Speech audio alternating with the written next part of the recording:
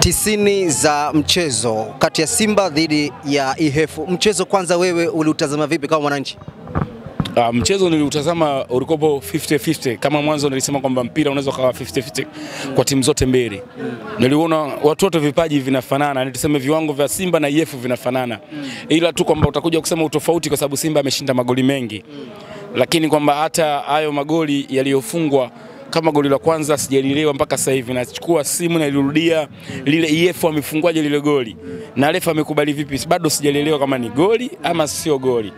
Na EF naye akafunga goli kule pia likakataliwa. Sasa sielewi limekataliwa kwa nini, umeona? Lakini wote wamekutana papatu papatu leo. EF leo sio siku nzuri kazini, amepoteza mchezo. Kiwango cha Gian Otto Haaland Baleke umekipokeaje hii leo? Ni mshambuliaji ambaye ni machachari au ni mshambuliaji ambaye anaweza akafanana kama Fiston Kala Mayele? Uh, ukizungumza Fiston Mayele ni sawasawa.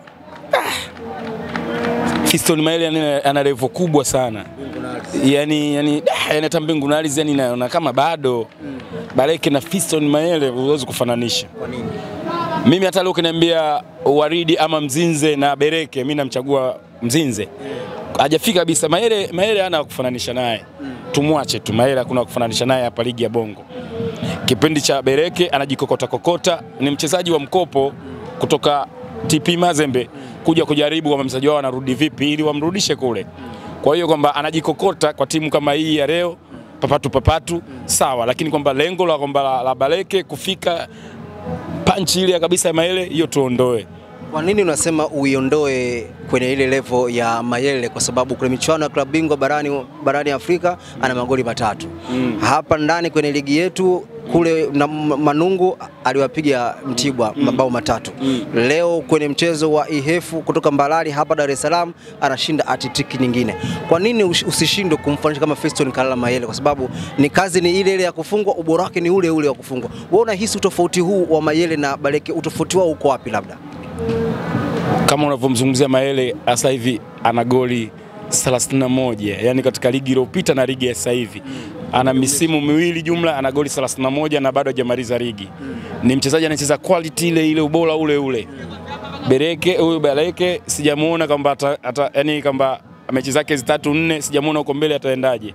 Ni mchezaji ambaye anajipapatua papatua, sasa sijaona kwamba msimu atamaliza vipi lakini kumfananisha na yule ni kitu viwili tofauti, kwa sababu wapo wachezaji wa hapa wanacheza kuliko yeye na walofunga magoli kuliko yeye. Saido ana magoli mengi kuliko Baleke.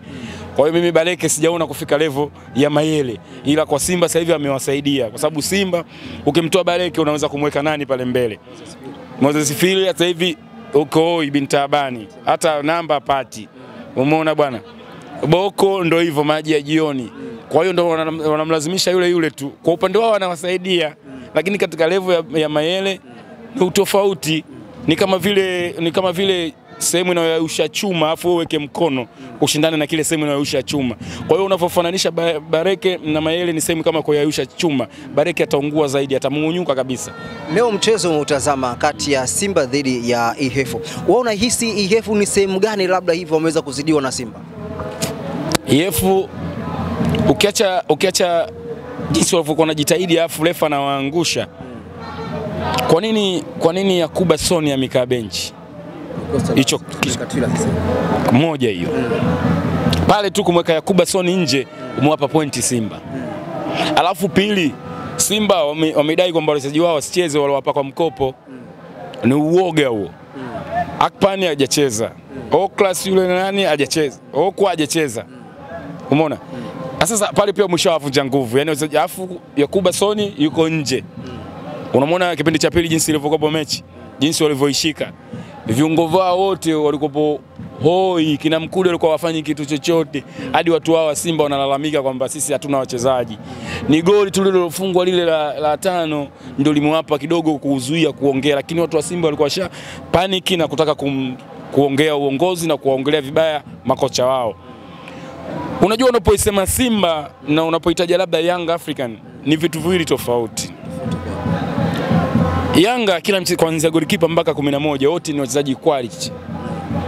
Tuna mtu kama Yannick Bangala mchezaji bora, tuna mtu kama Aziz Ki mchezaji bora, eh, tuna mtu kama wachezaji bora kama watatu hivi tunao, kama Aucho mchezaji bora, unamtaja mtu Diara mchezaji mzuri, unamwona golikipa wa thamani, unapomtaja unapomtaja nani Baka mchezaji mzuri. Kwa hiyo sisi tuna urundo la wachezaji. Morrison umemwacha hapo, Faisali ndio yule wamemtia nyong'onyo, tumemwacha hapo. Kwa hiyo unakuta sisi tuna rundo la wachezaji. Simba wana wachezaji mmoja, kama nilivyokuambia, Simba wana wachezaji mmoja tu. Ukihitaja Simba unamtajia Chama tu, ndio maana hata kitolewa dakika 32 uwanja mzima unazomea, unakasirika. Lakini sisi tuna mchezaji ambaye kila mtu ni mchezaji ambaye anafaa ku sisi Nabi ndo ametuunganisha wote kuonekana Yanga ya kisasa zaidi na haimtegemei mtu mmoja.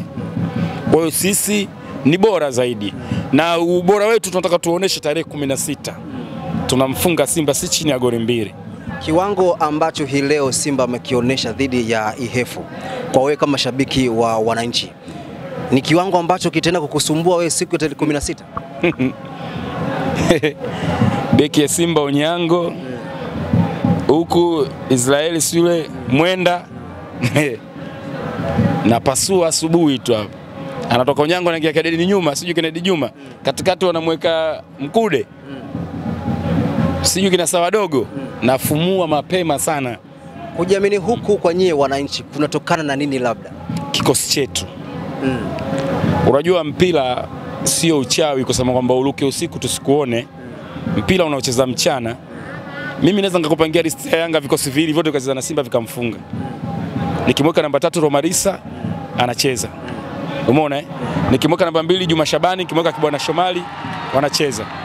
Kwa hiyo mimi mtu yoyote Yanga naweza nikampanga na Yanga kapata matokeo. Kwa hiyo mimi najiamini kutokana na timu yetu imeundwa kimfumo kuanzia mabosi mpaka chini ya benchi la ufundi. Ni timu iliyoundwa kisasa. Katika Tanzania sasa hivi timu bora ni Yanga. Basi sisi Nabi ndo ametuunganisha wote kuonekana Yanga ya kisasa zaidi na haimtegemei mtu mmoja.